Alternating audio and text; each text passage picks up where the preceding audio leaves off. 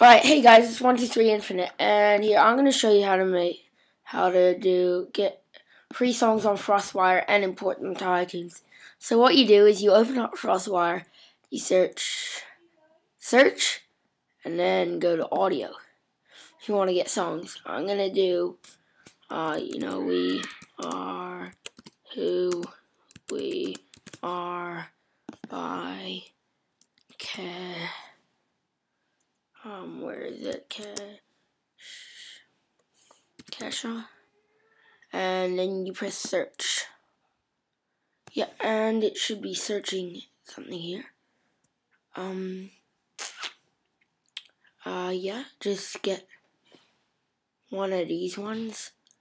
I think this one, oh, where is it? Uh, something that's probably a high bit rate. Just wait for them to all load first. Usually the top one is the best, or that one. It depends. And you just press the, uh, whatever. Um, yeah. So you just press the download button.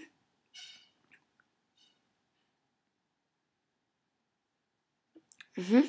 And something will come up here. It'll say process downloading. Stuff like that.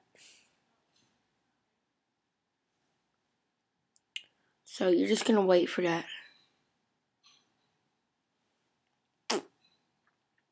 All load. Completed. Alright, once it's completed, you want to open up iTunes here. Then go back to FrostWire. And here, you hold on that for a long time. Okay. Show you again. You hold on that for a long time and you drag it. And over there you probably can't see, but that's my music library. Just drag it into that. You let go.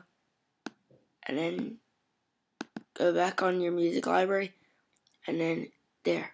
There it is.